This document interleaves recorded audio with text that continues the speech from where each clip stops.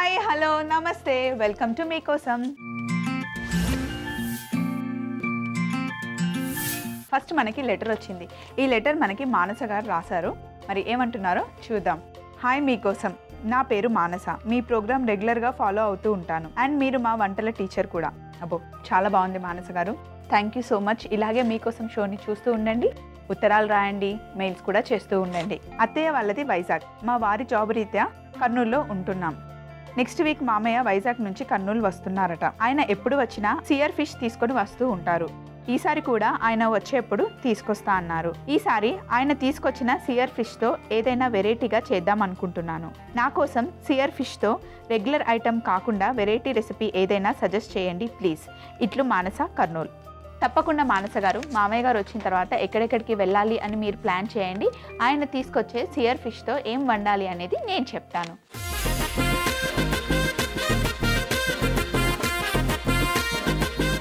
సీర్ fish నేను తెచ్చి already కడిగి చక్కగా కట్ చేసి పెట్టుకున్నాను. అయితే రెగ్యులర్ భాషలో దీన్ని మనం వంజరం అంటాం. లేదంటే కింగ్ ఫిష్ అని కూడా అంటారు. ఈ చేపలో ఉన్న స్పెషాలిటీ ఏంటంటే మనం ఏది చేసినా బాగుంటుందండి. పులుసు చేసినా బాగుంటుంది ఫ్రై చేసినా బాగుంటుంది లేదా సెమీ గ్రేవీ చేసినా కూడా చాలా బాగుంటుంది. ముందు ఫిష్ చూడడానికి మెత్తగా ఉంటుంది కానీ కుక్ చేసిన తర్వాత గట్టిగా. మనం మటన్ పీస్ తింటుంటే ఎలా ఉంటుందో ఆ ఫీల్ అలా ఉంటుంది చాలా టేస్టీగా ఉంటుంది. ఇంకో విషయం ఏంటంటే అన్ని చేపల కన్నా ఈ చేప చాలా కాస్ట్లీ అండి. పురమేను కన్నా ఇది కొంచెం ఎక్స్పెన్సివ్ టేస్ట్ చాలా బాగుంటుంది కాబట్టి మేబీ ఎక్స్పెన్సివ్ ఏమో. రెండు పీసెస్ కట్ చేసి పెట్టుకున్నాను. ఇందులో మనం ఫస్ట్ ఏం చేయాలి అంటే పసుపు ఉప్పు ఇంకా నిమ్మరసం.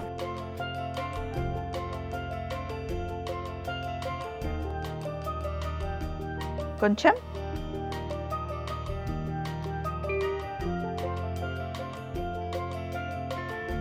అలాగే పసుపు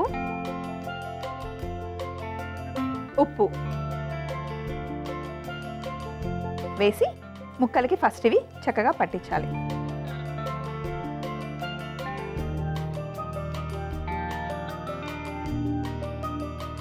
మనం ఈ బంజరం కింగ్ ఫిష్ని క్లీన్ చేసుకోవడం చాలా ఈజీ. ఎక్కువ టైం పట్టదు. అదే కొరమైన ఫిష్ని క్లీన్ చేసుకోవడానికి చాలా టైం పడుతుంది. ఇందులో బోన్స్ ఎక్కువగా ఉండవండి. చిన్నపిల్లలు తినడానికి కొంచెం ఇబ్బంది పడతారు కదా. ఇందులో ఈ మధ్యలో ఉన్న ఈ బోన్ ఒక్కటే ఉంటుంది. మిగతా అంతా మనకి మాంసమే ఉంటుందన్నమాట. ఎక్కడా కూడా మనకి ఆ ముళ్ళులు తగలవు. పిల్లల దగ్గర నుండి పెద్దవాళ్ళు హ్యాపీగా తినే ఫిష్ ఇది. సో ఇలా ఒకసారి ఉప్పు పసుపు నిమ్మరసం పట్టించి దీన్ని పక్కన పెట్టుకోవాలి. ఇప్పుడు మనం మసాలా తయారు చేసుకుందాం. ఈ రోజు మనం మానస గారి కోసం చేస్తుంది మంగుళూరు ఫిష్ కర్రీ. దీనికి బేడిగే అనే మిరపకాయలు కావాలి అలాగే పచ్చి కొబ్బరి తురుము. ఈ రోజు మనం చేసే ఈ ఫిష్ కర్రీని మనం కొబ్బరి నూనెతో వండుకుంటాం అనమాట కొబ్బరి నూనెతో నా ఫిష్ కర్రీ ఎలా ఉంటుందో అనుకుంటున్నారా? ఏం డౌట్ పడకండి. చాలా టేస్టీగా ఉంటుంది. నేను ఎలా చేస్తానో మీరు కూడా ఇంట్లో అలాగే చేసి పెట్టండి. ముందు హ్యాండ్స్ వాష్ చేసుకొని మిగతా ప్రాసెస్కి వెళ్దాం. ఉప్పు పసుపు పక్కన పెట్టేసుకొని వేడిగే మిరపకాయలు పచ్చి కొబ్బరి చింతపండు పులుసు అలాగే మిరియాలు ధనియాలు జీలకర్ర మెంతులు. ఇవన్నీ వేసి మనం పేస్ట్ చేసుకోవాలి. ఫిష్ని కాసేపు పక్కన పెట్టేసి ఇప్పుడు మిక్సీ జార్లో బేడిగే మిరపకాయలు వేసుకోవాలి. బేడిగే మిరపకాయలని గుర్తుపట్టడం ఎలా అంటే ఇవి చాలా ముడత ముడతగా ఉంటాయండి. బేడిగే అని కాదు ఏ మిరపకాయలు అయినా సరే ఎక్కువ ముడుతున్నాయనుకోండి ఎక్కువ కారంగా ఉండవు కానీ కమ్మగా ఉంటాయి. మీకు అందుబాటులో బేడిగే మిరపకాయలు ఉంటే అవి వేసుకోండి. లేకపోతే ఏవైనా సరే కొంచెం ముడతలు ఎక్కువ ఉన్న మిరపకాయలు వేసుకుంటే బాగుంటుంది. అలాగే ఇందులో పచ్చి కొబ్బరి తురుము. ఇక్కడ ముందుగానే వెల్లుల్లిని ఒలిచి పెట్టుకున్నాను. వెల్లుల్లి రెబ్బలు అలాగే మెంతులు మిరియాలు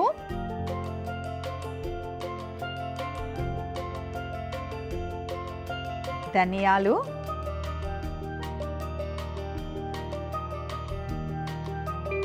జీలకర్ర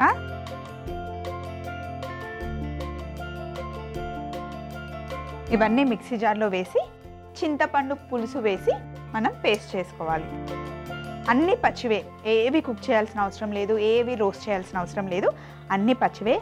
ఫస్ట్ కొంచెం వేసుకొని మిక్సీ పట్టుకున్న తర్వాత కొంచెం కొంచెం పులుసు యాడ్ చేసుకుంటూ మొత్తం ఫైన్ పేస్ట్ చేసుకోవాలి. ఇలా మొత్తం పేస్ట్ చేసుకోవాలి. ఇప్పుడు స్టవ్ ఆన్ చేసి ప్యాన్ పెట్టుకొని ఇందులో మనం కొబ్బరి నూనె వేసుకోవాలి. అలాగే కొన్ని ఆవాలు కరివేపాకు. కొబ్బరి నూనె వేడయ్యాక కొన్ని ఆవాలు అలాగే కరివేపాకు సన్నగా తరుక్కున్న ఉల్లిపాయలు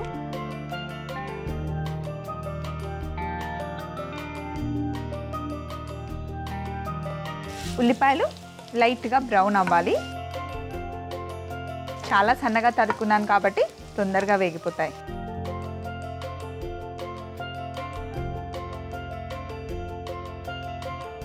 ఇందులో ఉప్పు.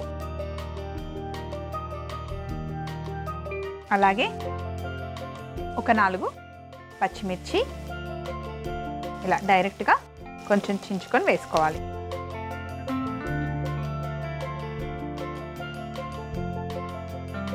ఇప్పుడు ఇందులో మనం ఇందాక చేసి పెట్టుకున్న మిరపకాయలు పచ్చి కొబ్బరి ఆ పేస్ట్ అంతా ఇందులో వేసేయాలి.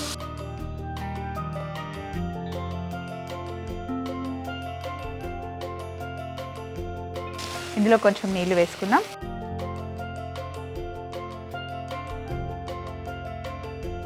అలాగే మూత కూడా పేస్ట్ ఉంది కదా ఇందులో కూడా కొంచెం వాటర్ వేసి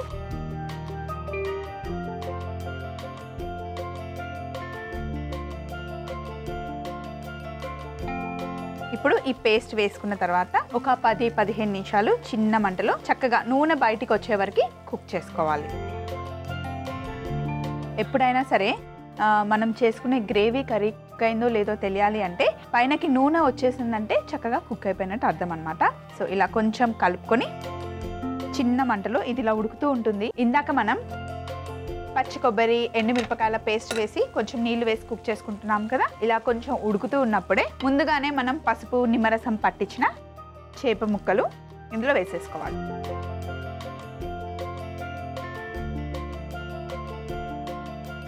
వేసిన తర్వాత ఒక్కసారి సైడ్స్ క్లీన్ చేసుకొని కొంచెం చిన్న మంట పెట్టుకొని ఇందులో ఇంకా కొంచెం నీళ్ళు పడుతుంది.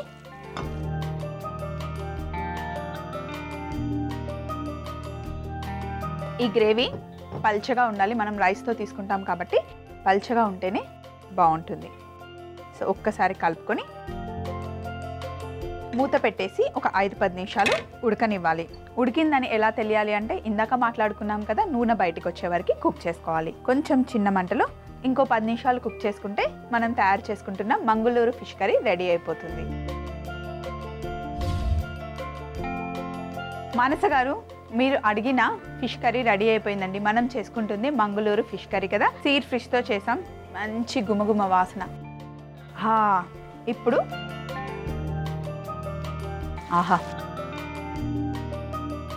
కలర్ చూడండి ఎంత బాగుందో. ఈ ఫిష్ కర్రీ ఇలా పల్చగానే ఉండాలి. చూడండి పైన మనకి నూనె కనిపిస్తూ ఉంది కదా? ఇప్పుడు స్టవ్ ఆఫ్ చేసేసుకొని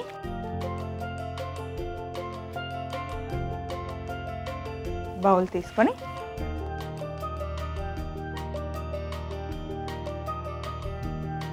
ఫస్ట్ బౌల్లో గ్రేవీ వేసుకుందాం.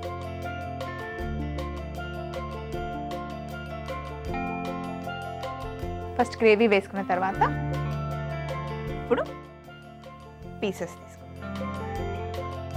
ఫిష్ కర్రీ వండడం అలవాటు లేని వాళ్ళు ఉంటారు కదా ఈ వంజరం ఫిష్ ఉంది కదండి అది ఎలాంటి డౌట్ లేకుండా ఉండొచ్చు. చాలామంది భయపడుతూ ఉంటారు వండుతూ ఉంటే ఫిష్ విరిగిపోతుంది కదా నాకు సరిగ్గా చేయడం రాదు అని భయపడుతూ ఉంటారు. అలా భయపడే వాళ్ళకైతే వంజరం ఫిష్ తీసుకున్నారనుకోండి కింగ్ ఫిష్ ఎప్పుడు కూడా కొంచెం బాయిల్ అయిపోయింది అనుకోండి తొందరగా విరగదు. చాలా టైం పడుతుంది. పైనుండి కొంచెం కొత్తిమీర వేసుకో.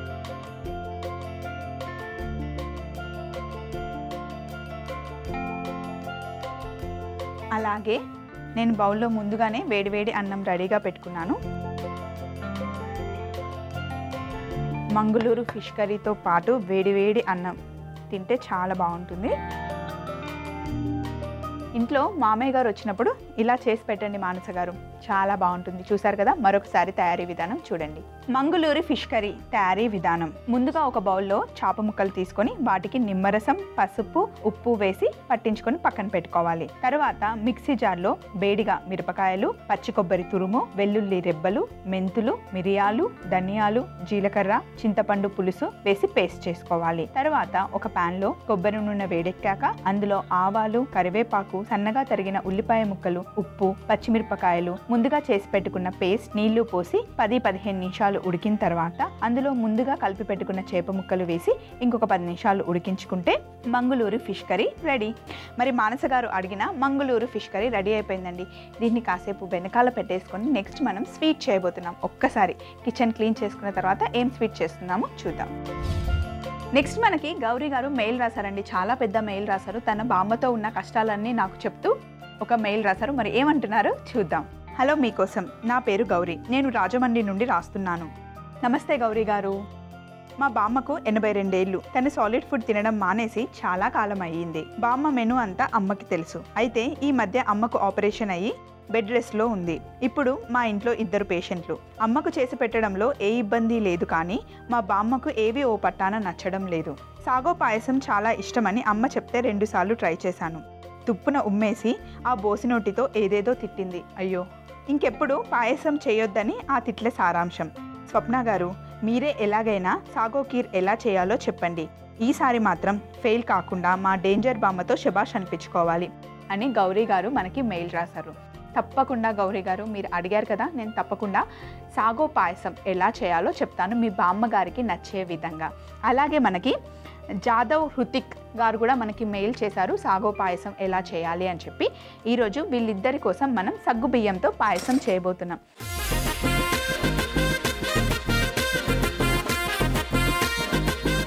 సాగో అంటే ఏం లేదండి. సగ్గుబియ్యం ఉంటాయి కదా. జనరల్గా అయితే మనం ఉపవాసం ఉన్నప్పుడు సగ్గుబియ్యంని తీసుకుంటాం. ఎక్కువగా ఇన్స్టెంట్గా ఎనర్జీ వస్తుందని చెప్పి. సగ్గుబియ్యంలో మనకి చాలా రకాలుగా దొరుకుతాయి. పెద్ద పెద్ద సైజు నుండి చాలా చిన్న సగ్గుబియ్యం వరకు దొరుకుతాయి. గౌరీ గారు బామ్మగారి కోసం అని చెప్పారు కాబట్టి చిన్నవైతే తొందరగా ఉడికిపోతాయి. అలాగే తింటున్నప్పుడు బామ్మగారికి ఎక్కడా కూడా గొంతులో తట్టుకోకుండా ఉంటాయని చెప్పి నేను చిన్న సైజులో తీసుకున్నాను. సగ్గుబియ్యంని కర్రపెండలంతో చేస్తారు. సగ్గుబియ్యం బాయిల్ చేసుకుని ఊరికే జస్ట్ అందులో ఉప్పు చక్కెర ఏం వేసుకోకుండా కూడా మనం తీసుకోవడం వల్ల ఇన్స్టెంట్గా ఎనర్జీ వస్తుంది. రోజంతా మనం ఉపవాసం ఉన్న తర్వాత సాయంత్రం సగ్గుబియ్యంని ఉడకబెట్టుకొని తాగుతారనమాట ఆ అలసటంతా పోతుంది ఇన్స్టెంట్గా శక్తి వస్తుంది. బామ్మగారికి పొద్దున ఒక ఒక గ్లాస్ పాయసం సాయంత్రం ఒక గ్లాస్ పాయసం ఇచ్చారనుకోండి ఆవిడ ఏం సాలిడ్ తినకపోయినా కూడా పర్వాలేదు. అలాగే చిన్నపిల్లలకి కూడా సగ్గుబియ్యంని ఉడకబెట్టేసి కొంచెం పటిక బెల్లం లేదా కొంచెం ఉప్పు వేసి వాళ్ళకి ఇచ్చినా కూడా బాగుంటుంది. ముఖ్యంగా చిన్నపిల్లలు నడుస్తూ ఉన్నప్పుడు వాళ్ళకి మోషన్స్ అవుతాయి కదండి. ఆ టైంలో కనుక సగ్గుబియ్యం ఇస్తే చాలా మంచిది. మరి ఇప్పుడు మనం ఫస్ట్ ఏం చేయాలి అంటే స్టవ్ ఆన్ చేసి ఇందులో కొంచెం నెయ్యి వేసుకోవాలి.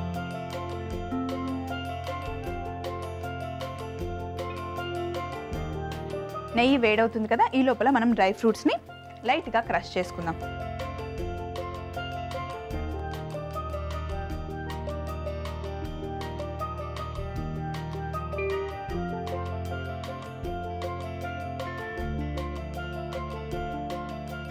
నెయ్యి వేడైన తర్వాత పూల్ మకనా ఇవి తామర పువ్వు నుండి వచ్చే గింజలతో చేస్తారన్నమాట. తామర పువ్వు ప్యాలాలు అంటారు వీటిని. ఇవి పాయసంలో వేసుకుంటే చాలా బాగుంటుంది గౌరీ గారు. వీటిని మనం కొంచెం వేయించుకోవాలి. అలాగే వీటితో పాటు ఇందాక క్రష్ చేసి పెట్టుకున్న డ్రై ఫ్రూట్స్ కూడా.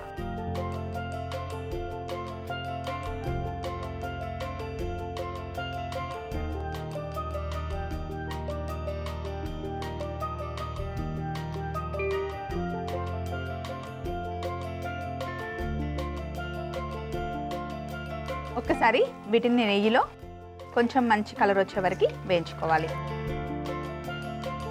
ఒక ప్లేట్ తెచ్చుకుందాం.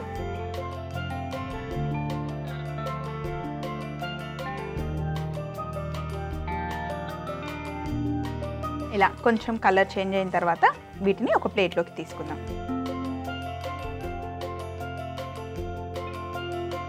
ప్లేట్లోకి తీసుకున్న తర్వాత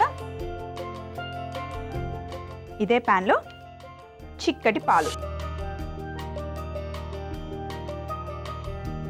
పాలు బాగా మరగాలి. ముందుగానే నేను మరగబెట్టుకొని చల్లార్చుకున్న పాలు ఇవి మళ్ళీ ఒకసారి మరగబెట్టుకోవాలి. ఈలోపు బామ్మగారికి మీరు చేసిన పాయసం నచ్చట్లేదు అని చెప్పారు కదా బామ్మగారికి నచ్చేలా ఉండాలి అంటే ఇందులో ఒక చిన్న కిటుకుంది. అదేంటంటే ఇలాచి అలాగే జాపత్రి కొంచెం ఉప్పు ఇంకా చక్కెర.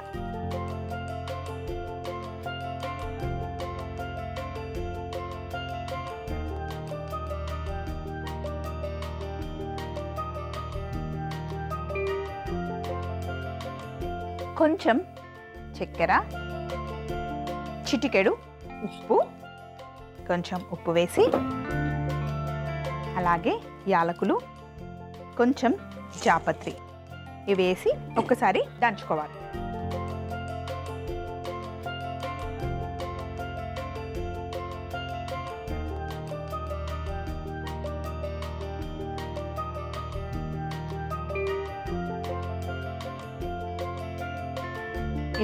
దంచుకోవాలి. కొంచెం ఇలా కచ్చాపచ్చాగా దంచేసుకొని బామ్మగారి కోసం చేస్తున్నాం కదా ఈ యాలకుల తొక్క రాకుండా తీసి పక్కన పెట్టేసుకుందాం. దీన్ని ఇప్పుడు ఇందులోనే ఉంచేసుకొని గౌరీ గారు పాలు మరుగుతూ ఉన్నాయి కదా ఇప్పుడు ఇందులో మనం నానబెట్టుకున్న సగ్గుబియ్యం వేసుకోవాలి. సగ్గుబియ్యం ఉడికిన తర్వాత ఎక్కువ అవుతాయి కాబట్టి మరి ఫుల్గా కాకుండా కొంచెం తక్కువగా వేసుకుందాం.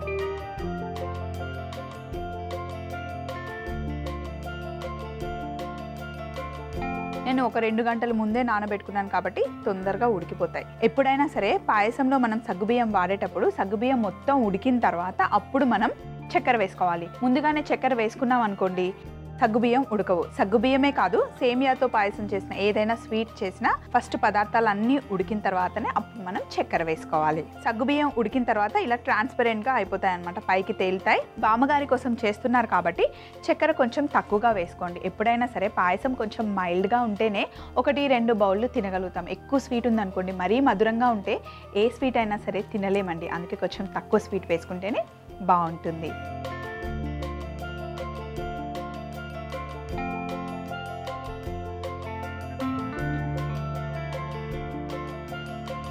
సగ్గుబియ్యం తీసుకోవడం వల్ల మజిల్ గ్రోత్ అవుతుంది. అలాగే బోన్ డెవలప్మెంట్ కూడా బాగా ఉంటుంది. కండపుష్టి అంటారు కదా దానికి బాగా ఉపయోగపడుతుంది. సగ్గుబియ్యంతో ఉప్మా కూడా చేసుకోవచ్చండి. కానీ మరీ ఇంత సన్నగా ఉన్న సగ్గుబియ్యంతో కాదు కొంచెం లావుగా ఉన్న సగ్గుబియ్యంని ముందుగానే నానబెట్టేసుకొని నీళ్ళన్నీ తీసేసి రెగ్యులర్గా మనం ఉప్మా ఎలా చేసుకుంటాం అలా చేసుకున్నా కూడా బాగుంటుంది. అందులో సైంధవ లవణం వేస్తారు. అది చాలా బాగుంటుంది అందులో వేస్తే ఉప్మాలో. చూడండి సగ్గుబియ్యం చక్కగా ఉడికాయి కదా. ఇప్పుడు మనం ఇందులో చక్కెర వేసుకోవాలి. చక్కెర పైన పెట్టేసుకున్నా ఇందాక.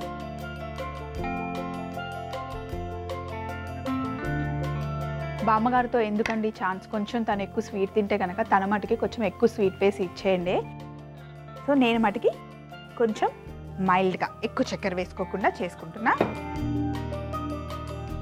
చక్కెర వేసి ఒక్కసారి కలుపుకున్న తరువాత సో ఇప్పుడు చక్కెర అంతా కరిగింది కదా? ఇందాక మనం దంచుకున్న మసాలా. మళ్ళీ వెనకాల పెట్టేసినట్టున? దంచుకున్న మసాలాని ఇందులో వేసేసుకుందాం. ఇలాచి జాపత్రి చక్కెర కొంచెం ఉప్పు. ఆహా ఒక్కసారి జాపత్రి వేసి దంచుకున్నాం కదా. మంచి సువాసన వస్తుంది. జాపత్రి ఇలాచి పొడి అన్నీ వేసుకొని దంచుకున్న మసాలా వేసాక కొంచెం ఉడకాలి. అయితే ఇలాచి పొడి ఇంకా కొంచెం వేద్దాం. ఇందాక మనం కొంచెం ఇలాచి యాడ్ చేసుకున్నాం కదా? ఇంకా కొంచెం పైనుండి ఇలాచి పొడి అలాగే నానబెట్టుకున్న కుంకుమ పువ్వు.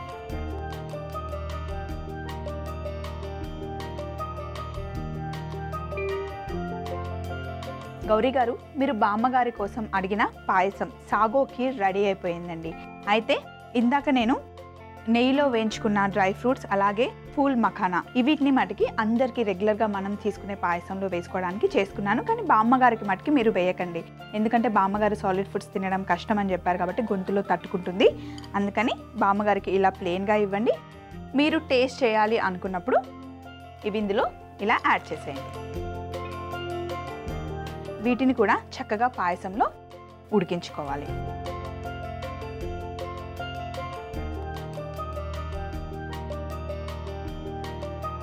గౌరీ గారు అలాగే హృతిక్ గారు. మీరు అడిగిన సాగో కీర్ రెడీ అయిపోయిందండి. భలే టేస్టీగా ఉంటుంది. స్టవ్ ఆఫ్ చేసేసి సాగో కీర్ని ఇలా వేడివేడిగా తీసుకున్నా బాగుంటుంది. ఫ్రిడ్జ్లో పెట్టుకొని చల్లగా అయిన తర్వాత తీసుకున్నా కూడా చాలా బాగుంటుంది. ఇప్పుడు వీటిని మనం ఒక బౌల్లోకి షిఫ్ట్ చేసుకుందాం. దానికన్నా ముందు ఒక్కసారి ఇక్కడ ఉన్న సందడంతా తీసేసుకుందాం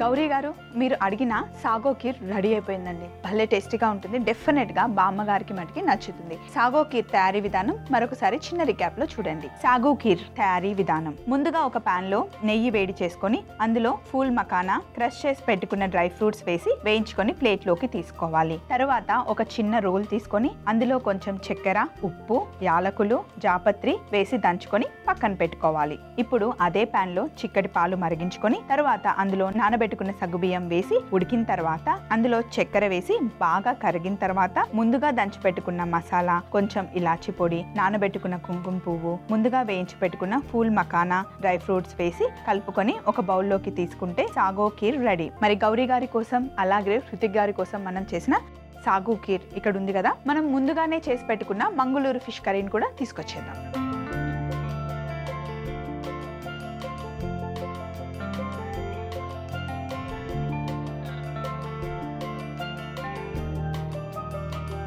చూసారు కదండి? ఈరోజు ఎపిసోడ్లో మనం చేసిన మంగళూరు ఫిష్ కర్రీ అలాగే సాగో ఖీర్. రెండు ఇంట్లో ట్రై చేయండి. చాలా టేస్టీగా ఉంటాయి. ఎలా ఉన్నాయో మళ్ళీ నాకు మెయిల్ చేయండి. మీ ఉత్తరాల కోసం మీ మెయిల్స్ కోసం స్వప్న ఎప్పుడూ ఎదురు చూస్తూ ఉంటుంది. మీకోసం. Until then friends take care bye